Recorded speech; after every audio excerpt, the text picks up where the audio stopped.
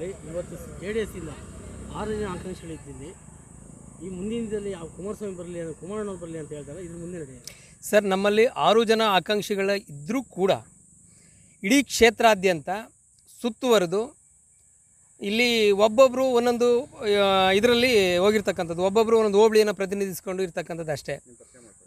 ನಾನು ಸೀಗ್ಲಳ್ಳಿ ವೀರೇಂದ್ರ ತಾಲೂಕು ಯುವಜನತಳ ಬಯಸ್ತಾ ಇದ್ದೀವಿ ಅಂದರೆ ಶಿರಾ ಕ್ಷೇತ್ರವನ್ನು ಪ್ರತಿನಿಧಿಸ್ತಕ್ಕಂಥ ವ್ಯಕ್ತಿ ನಮ್ಮ ಕುಮಾರಣ್ಣನವರೇ ಆಗಿರಬೇಕು. ನಮ್ಮ ಮಾಜಿ ಮುಖ್ಯಮಂತ್ರಿ, ಮುಂದಿನ ಮುಖ್ಯಮಂತ್ರಿಗಳು ಆಗಿರ್ತಕ್ಕಂಥ ನಮ್ಮ ಕುಮಾರಣ್ಣವರು ಈ ಒಂದು ಶಿರಾ ಕ್ಷೇತ್ರವನ್ನು ಪ್ರತಿನಿಧಿಸಬೇಕು. ಅವರು ಕೇವಲ ಅವರು ಒಂದು ಅರ್ಜಿಯನ್ನು ಹಾಕಿ ಹೋದರೂ ಸಾಕು. ನಾವು ಅವರನ್ನು ನಮ್ಮ ಶಕ್ತಿ ಮೀರಿ ಕೆಲಸ ಮಾಡಿ ಪ್ರತಿ ಹಳ್ಳಿ ಹಳ್ಳಿಗೆ ತಿರುಗಿ ನಾವು ಅವರನ್ನು ಗೆಲ್ಲಿಸ್ತಕ್ಕಂಥ ಕೆಲಸವನ್ನು ಮಾಡ್ತೀವಿ. ಕುಮಾರಣ್ಣವರು, ನಾನು ಯಾಕೆ ಅವ್ರು ಅರ್ಜಿ ಹಾಕೋಗ್ರಿ ಅಂತ ಹೇಳ್ತಾ ಇದ್ದೀನಿ ಅಂದರೆ, ಅವರು ಉಪಚುನಾವಣೆ ಬಂದಂಥ ಸಂದರ್ಭದಲ್ಲಿ ಇಡೀ ಹಳ್ಳಿಯನ್ನು ಸುತ್ತಿದ್ದಾರೆ ಪಕ್ಷ ಮತ್ತು ದೇವೇಗೌಡರ ಕುಟುಂಬ, ದೇವೇಗೌಡರ ಅಪ್ಪಾಜಿಯವರು ಕೂಡ ಇಡೀ ಹಳ್ಳಿ ಹಳ್ಳಿಯನ್ನು ಸುತ್ತಿ ಅವರು ಈ ಒಂದು ಕಾರ್ಯಕರ್ತರನ್ನು ಭೇಟಿಯಾಗಿರ್ತಕ್ಕಂಥದ್ದು. ಅಂತಹ ಅವರ ಒಂದು ಶ್ರಮ ಇದೆಯಲ್ಲ, ಅದು ವ್ಯರ್ಥವಾಗಬಾರ್ದು. ಜೊತೆಗೆ ಶಿರಾ ಕ್ಷೇತ್ರ, ರಾಮನಗರ ಹಾಸನ ಯಾವ ರೀತಿಯಾಗಿ ಅಭಿವೃದ್ಧಿಯಾಗಿದವೋ, ಅದೇ ರೀತಿಯಾಗಿ ತುಮಕೂರು ಜಿಲ್ಲೆ ಅದರಲ್ಲೂ ವಿಶೇಷವಾಗಿ ಬಯಲು ಸೀಮೆಯಾಗಿರ್ತಕ್ಕಂಥ ಶಿರಾ ಕ್ಷೇತ್ರವು ಕೂಡ ಅಭಿವೃದ್ಧಿಯತ್ತ ಕೊಂಡೊಯ್ಯಲಿಕ್ಕೆ ಅಭಿವೃದ್ಧಿಯ ವೇಗವನ್ನು ಕೊಡಲಿಕ್ಕೆ ಅದು ಕುಮಾರನಿಂದ ಮಾತ್ರ ಸಾಧ್ಯ ಅಂತಕ್ಕಂತಹ ಒಂದು ವಿಶ, ವಿಶೇಷವಾದ ಕಾಳಜಿಯಿಂದ. ಜೊತೆಗೆ ನಾವು ರಾಜಕೀಯವಾಗಿ ಮಾತಾಡೋದಾದರೆ, ಈ ಒಂದು ಕುಮಾರಣ್ಣನವರು ಶಿರಾ ಕ್ಷೇತ್ರವನ್ನು ಪ್ರತಿನಿಧಿಸಿದ್ದೇ ಆದಲ್ಲಿ ಅವರು ನಮ್ಮ ಮನವಿಗೆ ಅವರು ಕಿವಿಗೊಟ್ಟಲ್ಲೇ ಆದರೆ ನಮ್ಮ ಅವರ ನಮ್ಮ ಕರೆಗೆ ಅವರು ಹೂಗುಟ್ಟಿ ಈ ಒಂದು ಕ್ಷೇತ್ರದಲ್ಲಿ ಸ್ಪರ್ಧಿಸಿದ್ದೇ ಆದಲ್ಲಿ ಸುತ್ತಮುತ್ತಲಿರ್ತಕ್ಕಂತಹ ತುಮಕೂರು ಜಿಲ್ಲೆಯ ಹನ್ನೊಂದು ವಿಧಾನಸಭಾ ಕ್ಷೇತ್ರ ಹಾಗೂ ಚಿತ್ರದುರ್ಗ ಜಿಲ್ಲೆಯ ಹಿರಿಯೂರು ಮತ್ತು ಚಳ್ಳಕೆರೆ ಒಳಗೊಂಡಂತೆ ಅಕ್ಕಪಕ್ಕದ ಎಲ್ಲ, ಪಕ್ಕದ ಎಲ್ಲ ಕ್ಷೇತ್ರಗಳಿಗೆ ಆ ಒಂದು ಪರಿಣಾಮದ ಬೀರಿ, ಅವರ ಒಂದು ಹಲೆಯ ವರ್ಚಸ್ಸನ್ನು ಬೀರಿ ನಾವು ಅಲ್ಲಿನ ಕ್ಷೇತ್ರ, ನಮ್ಮ ಜೆ ಪಕ್ಷದ ಅಭ್ಯರ್ಥಿಗಳು ಗೆಲ್ತಾರೆ. ಅವರು ವಿಜಯನ ಸಾಧಿಸ್ತಾರೆ. ಈ ಒಂದು ರಾಜಕೀಯವಾಗಿ ನೋಡಿದಾಗ, ಈ ರೀತಿಯಾಗಿ ಅಭಿವೃದ್ಧಿ ದೃಷ್ಟಿಯಿಂದ ನೋಡಿದಾಗ ಕುಮಾರಣ್ಣನವರು ಶಿರಾ ಕ್ಷೇತ್ರಕ್ಕೆ ಅವರು ಬಂದು ಸ್ಪರ್ಧೆ ಮಾಡಲಿ. ಯಾಕೆಂದರೆ ಶಿರಾ ಕ್ಷೇತ್ರಕ್ಕೇನು ಹೊಸದಲ್ಲ.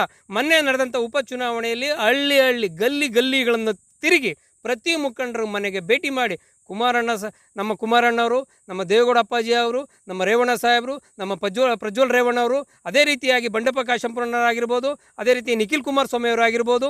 ಇತರ ಎಲ್ಲ ಅವ ಅಂದಿನ ನಮ್ಮ ಮುಖ್ಯಮಂತ್ರಿಗಳು, ನಮ್ಮ ಅಧ್ಯಕ್ಷರಾದಂತಹ ಈ ಒಂದು ಸಕಲೇಶ್ಪುರದ ಶಾಸಕರಾಗಿರುವಂಥ ಕುಮಾರಸ್ವಾಮಿ ಅವರು, ಅವರೆಲ್ಲ ಕೂಡ ಪಕ್ಷ, ಪಕ್ಷದ ಇಡೀ ಪಕ್ಷವೇ ಬಂದು ಶಿರಾ ಕ್ಷೇತ್ರದ ಪ್ರತಿ ಹಳ್ಳಿಯನ್ನು ಸುತ್ತಿತ್ತು. ಆದರೆ ನಾವು ಸೋಲನ್ನು ಅನುಭವಿಸ್ಬೇಕಂತ ಪರಿಸ್ಥಿತಿ ಅವತ್ತಿತ್ತು. ಅದೇನೇ ಆಗಿರಲಿ, ಅಂತಹ ಒಂದು ಶ್ರಮ ವ್ಯರ್ಥವಾಗಬಾರ್ದು ಅನ್ನೋ ಒಂದು ಸದುದ್ದೇಶದಿಂದಲೂ ಕೂಡ ಶಿರಾ ಕ್ಷೇತ್ರವನ್ನು ಕುಮಾರಸ್ವಾಮಿಯವರೇ ಪ್ರತಿನಿಧಿಸಬೇಕು. ನಮ್ಮ ಈ ಬಯಲು ಸೀಮೆಗೆ ಅವರು ಬಂದು ಸ್ಪರ್ಧಿಸಿದ, ಸ್ಪರ್ಧಿಸಿದ್ದೇ ಆದಲ್ಲಿ ನಮ್ಮ ಬಾಳು ಬೆಳಕಾಗುತ್ತೆ ಅಂತಕ್ಕಂತಹ ಒಂದು ಏಕೈಕ ಸದುದ್ದೇಶದಿಂದ ನಾವುಗಳು ಅವರನ್ನು ವಿನಮ್ರಪೂರ್ವಕವಾಗಿ ನಾವು ಅವ್ರನ್ನ ಈ ಕ್ಷೇತ್ರಕ್ಕೆ ಬರಮಾಡ್ತಾ ಇದ್ದೀವಿ. ಎಲ್ಲರೂ ಒಕ್ಕಲು ಇವತ್ತೇನು ಸಭೆ ಇತ್ತಲ್ಲ ಸಹಸ್ರ ಸೇರ್ ಸೇರಿರ್ತಕ್ಕಂಥ ಯುವ ಸಮೂಹ ಮತ್ತು ಇವತ್ತೇನು ಇತ್ತು ಎಲ್ಲ ನಮ್ಮ ಮುಖಂಡರುಗಳು, ಇವರೆಲ್ಲ ಕೇಳ್ಕೊಳ್ಳೋದಿಷ್ಟೇ ಶಿರಾ ಕ್ಷೇತ್ರವನ್ನು ದಯಮಾಡಿ ಕುಮಾರಣ್ಣವರು ಸ್ಪರ್ಧೆ ಮಾಡಿ, ನಾವು ಗೆಲ್ಲಿಸ್ತೀವಿ. ಅಷ್ಟೇ ನಾವು ಕೇಳ್ತಕ್ಕಂಥದ್ದು. ಸರ್, ಕುಮಾರಣ್ಣವರು ಬರೆದಿದ್ದೇ ಆದರೆ ಪಕ್ಷ ಹಿನ್ನಡೆಯನ್ನು ಪಡ್ಕೊಳ್ಳುತ್ತೆ. ನಾನು ವೈಯಕ್ತಿಕವಾಗಿ ಹೇಳ್ತೀನಿ, ಇಲ್ಲಿ ರಾಜಕೀಯವಾಗಿ ನಾನು ಮಾತಾಡೋದು ಬೇರೆ ವಿಚಾರ ಆಗಿರ್ಬೋದು. ಯಾಕೆಂದರೆ ಆಂತರಿಕವಾಗಿ ನಮ್ಮಲ್ಲಿ ಸಮರ್ಥವಾದಂಥ ಅಭ್ಯರ್ಥಿಗಳು ಇದ್ದಾರೆ ಆದರೆ ಅವರಲ್ಲಿ ಒಗ್ಗಟ್ಟು ನೋಡಲಿಕ್ಕೆ ನಾವು ಕಾಣ್ತಿಲ್ಲ. ಅವರು ಯಾರಾದ್ರೂ ಇಲ್ಲಿವರೆಗೂ ಏಕೈಕ ಅಭ್ಯರ್ಥಿಯನ್ನು ಅವರು ಇಂಥ ಅಭ್ಯರ್ಥಿನ ನಾನು, ನಾವು ಮಾಡಿದ್ದೀವಿ ಅಂತೇಳಿ ಒಬ್ಬರೂ ಕೂಡ ಹೇಳ್ತಿಲ್ಲ. ಎಲ್ಲರೂ ನಮಗೆ ಕೊಟ್ಟರೆ ನಾವು ಚುನಾವಣೆ ನಮಗೆ ಕೊಡಿ ನಮಗೆ ಕೊಡಿ ಅಂತ ಕೇಳ್ತಕ್ಕಂಥದ್ದು ನಾವು ನೋಡ್ತಾ ಇದ್ದೀವಿ. ಇದು ನಾವು, ಇದು ಮೀಡಿಯಾ ಮುಂದೆ ಮಾ, ಒಳಗಡೆ ಇಟ್ಕೊಂಡು ಮಾತಾಡೋದೇ ಬೇರೆ. ಇರೋ ವಾಸ್ತವಾಂಶ ಮಾತಾಡೋದಾದರೆ ಇದೈತೆ. ಹಾಗಾಗಿನ ನಾವು ನಮ್ಮ ಅಭ್ಯರ್ಥಿಗಳು ಕೂಡ ನಮ್ಮ ಏನು ಆರು ಜನ ಆಕಾಂಕ್ಷಿಗಳಿದಾರಲ್ಲ, ಆರೂ ಜನನೂ ಕೂಡ ಸಮರ್ಥವಾಗಿದ್ದಾರೆ. ಪಕ್ಷವನ್ನು ಮುನ್ನಡೆಸಲಿಕ್ಕೆ ಅಭ್ಯರ್ಥಿಗಳು ಸಮರ್ಥವಾಗಿದ್ದಾರೆ.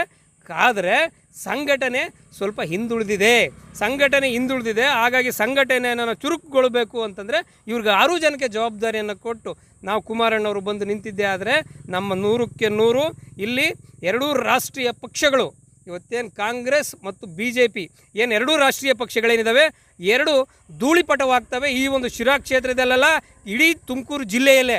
ಹಾಗಾಗಿ ಕುಮಾರನವರು ಇಲ್ಲಿ ಸ್ಪರ್ಧೆ ಮಾಡಬೇಕು. ಆರೂ ಜನಕ್ಕೆ ಅವ್ರ ಜವಾಬ್ದಾರಿಯನ್ನು ಕೊಡಬೇಕು. ನಮ್ಮಂಥ ಯುವಕರನ್ನೆಲ್ಲರೂ ಜವಾಬ್ದಾರಿಯನ್ನು ಕೊಟ್ಟು ಅವ್ರು ಬಂದಿರ್ ಬಂದು ಅರ್ಜಿ ಆಗದೆ ಜವಾಬ್ದಾರಿ ಅಷ್ಟೇ. ಅವರೇ ನಮಗೇನು ವೈಯಕ್ತಿಕವಾಗಿ ಯಾರಿಗೂ ಹೇಳಬೇಕಾಗಿಲ್ಲ. ಅವ್ರು ಬಂದು ಅರ್ಜಿ ಆಗಿದ್ರು ಸಾಕು. ಅವ್ರು ನಮಗೆ ನಮಗೆ ಜವಾಬ್ದಾರಿ ಕೊಟ್ಟಾಗೆ ಒಟ್ಟಾರೆ ಹೇಳ್ಬೇಕು ಅಂದರೆ ಸಿರಾ ಕ್ಷೇತ್ರದಲ್ಲಿ ಜೆ ಡಿ ಎಸ್ ಒಂದು ಗೊಂದಲ ಸೃಷ್ಟಿಯಾಗ್ಬಿಟ್ಟಿದೆ. ಅದಕ್ಕೆ ಏನು ಹೇಳ್ತೀವಿ ಸರ್?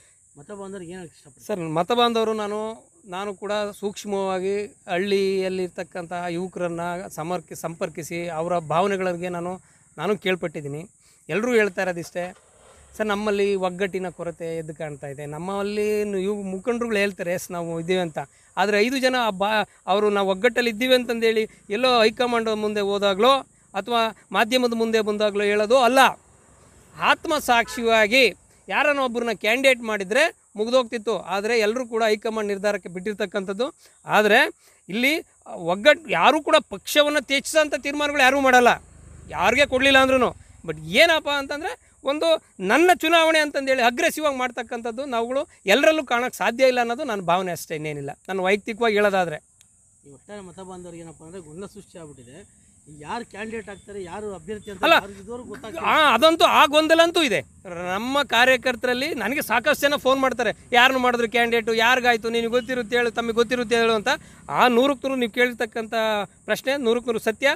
ಇಲ್ಲಿ ಕ್ಯಾಂಡಿಡೇಟ್ ಯಾರಾಗ್ತಾರೆ ಜ ಜನತಾದಳದ ಅಭ್ಯರ್ಥಿ ಪ್ರಾದೇಶಿಕ ಪಕ್ಷದ ಅಭ್ಯರ್ಥಿ ಯಾರು ಆಗ್ತಾರೆ ಅನ್ನೋದು ನಮ್ಮ ಕಾರ್ಯಕರ್ತರಲ್ಲಿ ಗೊಂದಲ ಅಂತೂ ಈ ಈ ಕ್ಷಣಕ್ಕೂ ಇದೆ. ಸರ್ ಈಗ ಒಂದು ಪಕ್ಷ ಬರೋದೇ ಉಳಿದಿದೆ ಮೂವತ್ತೈದು ದಿವಸ ಮೂವತ್ತೈದು ಸಲ ನಿಮ್ಮ ಕ್ಯಾಂಡಿಡೇಟ್ ಅಭ್ಯರ್ಥಿ ಇನ್ನೂ ಘೋಷಣೆ ಆಗಿಲ್ಲ ಅಂದಮೇಲೆ ಎಲೆಕ್ಷನ್ ಹೆಂಗೆ ಮಾಡ್ತೀರಿ ನೀವು? ಸರ್ ನಮಗೆ ಏನು ಗೊತ್ತಾ? ನಾವೊಂಥರ ಭಾರತೀಯ ಸೈನಿಕರಿದ್ದಂಗೆ ನಮ್ಮ ಇಂಡಿಯನ್ ಆರ್ಮಿ ಹೆಂಗಿದೆಯಲ್ಲ ಹಾಗೆ ನಮ್ಮ ಜೆ ಡಿ ಎಸ್ ಕಾರ್ಯಕರ್ತರು. ನಮ್ಗೆ ಯಾವಾಗಲೂ ಸದಾ ಸನ್ನದ್ಧವಾಗಿರ್ತೀವಿ. ನಾವೇನು ಅದಕ್ಕೇನು ರಿ ನಾವು ಟ್ರೈನಿಂಗ್ ತೊಗೋಬೇಕು ಅಥವಾ ಇನ್ನೂ ಸ್ವಲ್ಪ ಸಮಯ ಬೇಕು ಅಂತ ಏನು ಕೇಳಲ್ಲ. ನಾವು ಸದಾ ಸನ್ನದ್ಧವಾಗಿರ್ತೀವಿ. ಯುದ್ಧ ಯಾವಾಗ ಶುರುವಾಗುತ್ತೋ ಆ ಕ್ಷಣಕ್ಕೆ ನಾವು ಯುದ್ಧಕ್ಕೆ ನಾವು ರಣರಂಗಕ್ಕೆ ಇಳಿದು ನಾವು ನಮ್ಮ ಶತ್ರುಗಳನ್ನು ಹೋರಾಡ್ತೀವಿ. ಅದ್ರಾಗೇನು ಅನುಮಾನನೇ ಇಲ್ಲ. ನಾವು ಯಾವಾಗಲೂ ರೆಡಿ ಇರ್ತೀವಿ. ನಮ್ಮ ಸ, ನಾವು ಚುನಾವಣೆ ಮಾಡೋ ರೀತಿ ಏನಿಲ್ಲಲ್ಲ ನಮ್ಗೆ ಸರಿಯಾದ ನಾಯಕತ್ವವನ್ನು ಕೊಡಿ, ನೀವೇ ಬಂದ್ಬಿಡಿ, ನೀವು ಬರಲೇಬೇಕು ಅನ್ನೋದು ನಮ್ಮ ಆಗ್ರಹ.